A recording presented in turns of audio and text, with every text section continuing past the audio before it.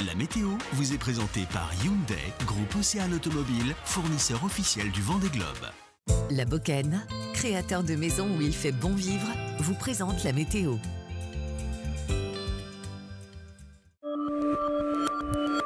Bonjour à tous, nous voilà déjà en novembre et le temps reste bien mystérieux. En ce vendredi 1er novembre, jour de la Toussaint, les brumes du lever du jour vont se lever dans la matinée.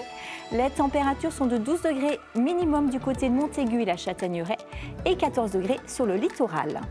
Dans l'après-midi, le soleil reprend sa place sur toute la Vendée avec un thermomètre qui reste très doux pour la saison, affichant 17 degrés sur les îles et 21, 21 pardon, degrés dans le sud comme à Fontenay-le-Comte. Passons aux trois jours qui suivent. Samedi, c'est toujours très voilé, mais le ciel va s'éclaircir plus vite que la veille. Le mercure est compris entre 9 et 13 degrés le matin et de 16 à 18 degrés dans l'après-midi. Dimanche, le département est coupé en deux le matin avec des nuages dans le bocage et un temps lumineux sur la côte. Mais le soleil va briller ensuite pour tout le monde. Les températures, elles, vont de 8 degrés au plus bas et 18 degrés au plus haut. Et lundi, la météo reste clémente avec un ciel bien bleu qui se maintient pour toute la journée.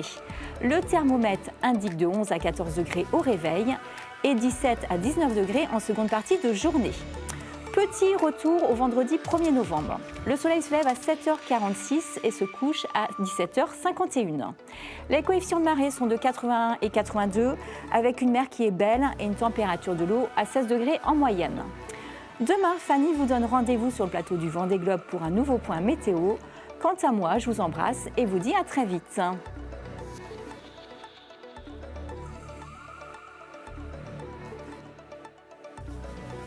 C'était la météo avec Hyundai, groupe Océan Automobile, fournisseur officiel du Vendée Globe avec des véhicules innovants.